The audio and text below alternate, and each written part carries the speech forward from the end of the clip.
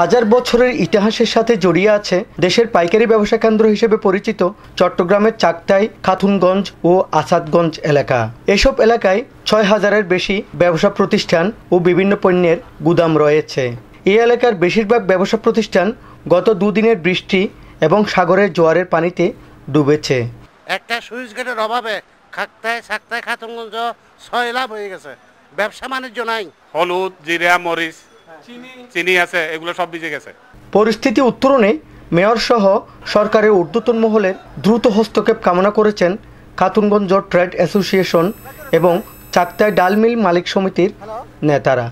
সরকার এই মুহূর্তে এইটাকে রক্ষা করার জন্য খুবই জরুরি পদক- পদক্ষেপ নেওয়া উচিত। পানিতে মাল নষ্ট হচ্ছে বিলিতে মাল নষ্ট হচ্ছে মানে আমাদের করুণ অবস্থা। আমরা আজকে দেউলি হয়ে বসেছি জলবদ্ধতা দূরণ চট্টগ্রাম সিটি মেয়র বলেছেন চট্টগ্রামের সাঁত্রিশটি খাল দখলমুক্ত করে খনন করা হলে এবং কর্ণফুলী নদীর ক্যাপিটাল ড্রেজিংয়ের ব্যবস্থা করা গেলেই চট্টগ্রাম নগরের জলবদ্ধতা অনেকাংশেই কমবে। কেপিটাল ড্রেজিংটা যদি করতে পারি তাহলে দেখা যায় কর্ণফুলী নদীর ধারণ ক্ষমতা বৃদ্ধি পাবে। তাহলে পানি এখন যেই পরিমাণ হচ্ছে বা যে পরিমাণ পানি শহরে প্রবেশ করছে এটার পরিমাণটার সংখ্যাটা অনেকটা কমবে এটা। বাংলাদেশের অন্যতম পাইকারি বাজার চট্টগ্রামের খাতুনগঞ্জ চাকতে ব্যবসায়ীরা চায় দ্রুত এই জলাবদ্ধতার অবসান।